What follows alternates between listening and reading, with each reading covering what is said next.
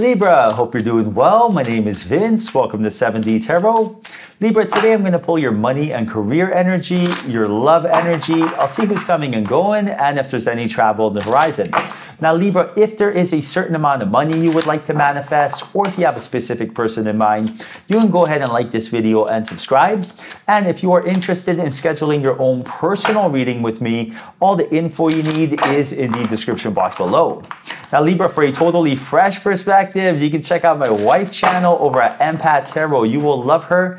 And stay tuned till the end of your read where I will pull a final message from your spirit guides and your spirit animal. All right, so let's dive right in. First card Eight of Cups. Your angels are telling you that you have to walk away from something, audit a belief or audit a relationship. What is not paying dividends in your life? For example, what is not making you feel good? Your GPS, your emotions, which is your, your emotional guiding system, is always going to tell you how, you know, which direction your manifestation is heading in. If something feels good, your point of attraction is manifesting something good. If something is feels bad, if you feel like you're walking on eggshells, you have to make a change, and all of a sudden, every time you think of it, like you have a hard time breathing or you feel like you're cringing, then you have to pivot and change course because it's the countdown to a bad manifestation. Five, four, three. You don't want that, right? So immediately listen to your guides, which is your intuition, which is your feelings, and change your, your feelings by changing your point of focus, which is your thoughts. Now you got the three cups, two of wands, ace of cups. So that's one, two, three. That's a synchronicity right there. So this, you may potentially have to walk away from somebody. Now you have the queen of pentacles, the tower, page of pentacles, queen of wands, justice, two of swords, judgment. Very interesting. Nine of cups, seven of cups, five of swords. So it's it's a lot of like one foot in, one foot out energy right now.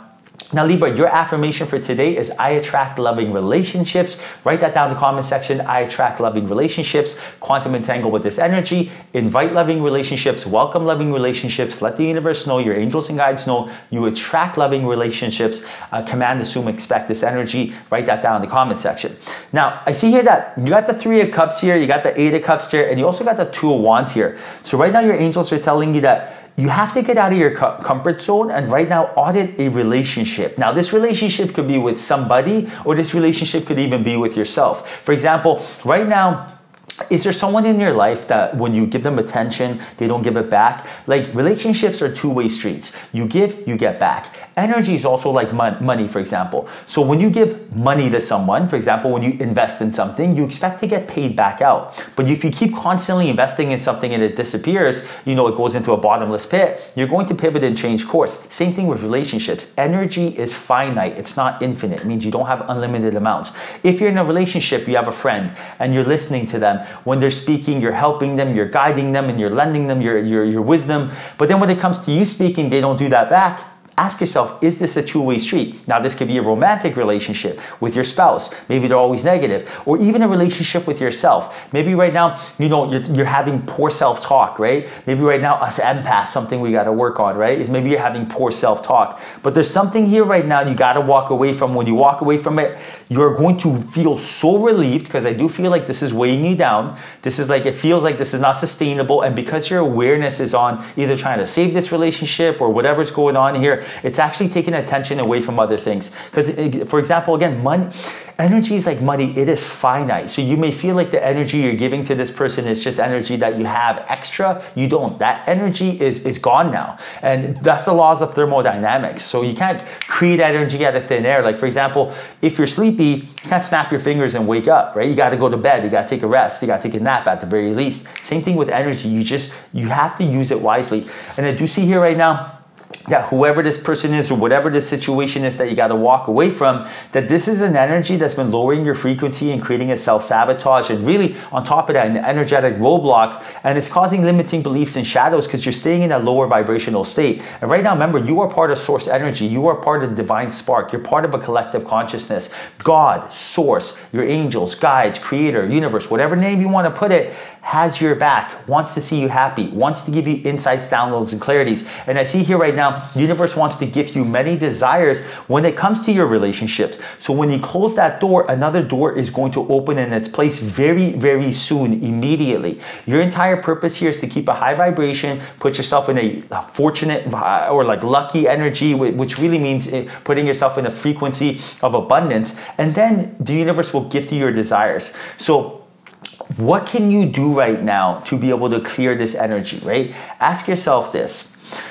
at the end of the day, everyone is on their on their own path. If someone is not choosing to take your advice or is not listening, you cannot make them do so. For example, you have a friend who's smoking, you want to you want them to quit smoking, you tell them to quit smoking, but unless they're ready, they're not going to quit smoking. And when they are ready, they are going to approach you. So everyone is on their path. Everyone's a fifth dimensional being that came to the third dimension and they chose the path they're going down because they want to feel, you know, certain, you know, a, a contrast to be able to gain experience and gain wisdom. Now, the path that they're going down may seem as if it's a path that's unnecessary to you, like you want to spare them the troubles of pain and anguish, and you want to share your experience and guide them. But you got to understand that this is the path they intentionally chose. They want to learn these lessons. Like, for example, if someone comes up to you and says one plus one is two, you may know what that means in concept, but unless you actually put it together and figure it out, you're not going to really have experience. And that's what's going on here. Your angels and guides are telling you that this is a time for you to understand that you are going down your path.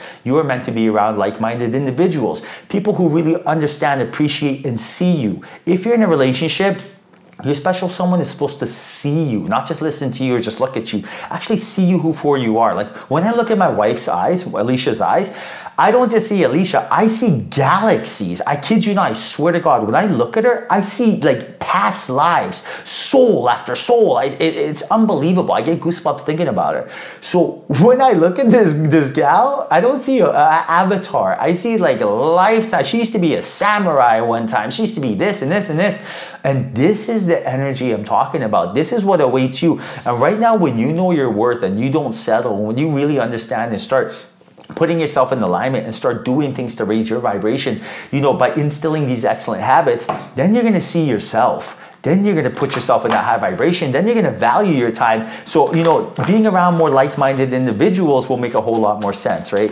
So, right now, focus your awareness on yourself, build these excellent habits, invest in yourself spiritually, meditation, financially, take a course, you know, physically go for a walk, do whatever it is you got to do. And, you know, invite the energy of abundance and ask your angels and guides for help. Don't, don't feel like, you know, unless you invite them in, they can't come in because of free will. So, don't be shy, ask them in.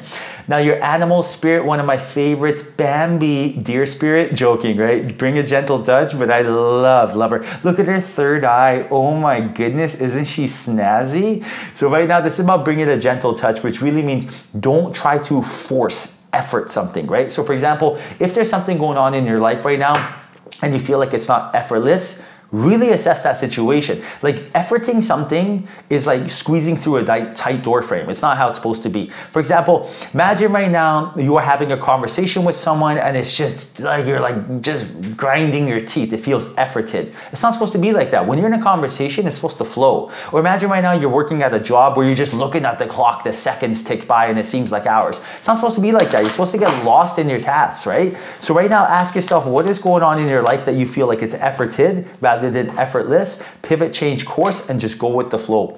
Now, final message from your spirit guides and look at what they say, the bigger picture, and look at that. Talk about fifth dimension.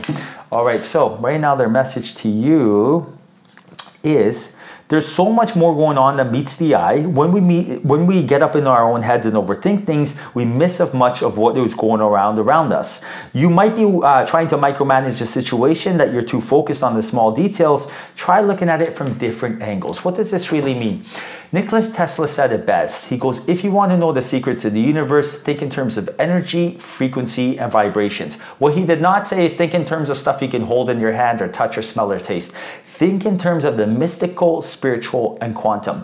When you want something, that want is a desire. Immediately after you want something, that's like asking for something. The universe answers. You never have to ever, ever, ever guess if the universe heard you. So if you're like, oh man, I want to be with my soulmate, Right then and there, it's been answered. The universe doesn't need a babysitter or like an answering machine. So you ask, it's answered. Immediately after that, it's the allowing stage is where the, everything gets clogged up, for example, right? What that really means is ball is back in your court. At that point, you have to allow. How do you allow? By getting out the way. How do you allow? By not causing resistance, by not having a, a, a attachment to the outcome, right? For example, say if I want to be my soulmate, I would say, universe, I invite the uh, uh Uh, oh, for example, even even what we talked about, I attract loving relationships, right? So universe, I attract loving relationships in my life. I ask, universe goes done answered. Now, me, rather than be like, when's it gonna happen? How? Who? What? When? Where? How? What, what, I don't think of this. What, what should have happened by now? All of that, right? That's resistance.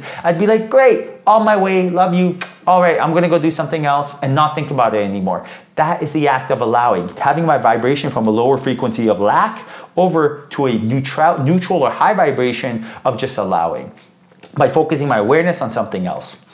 All right, Libra, I hope you enjoyed your reading. Hope there was a message in here for you. If there was, like this video and subscribe. I truly appreciate you. Till next time, follow your passion.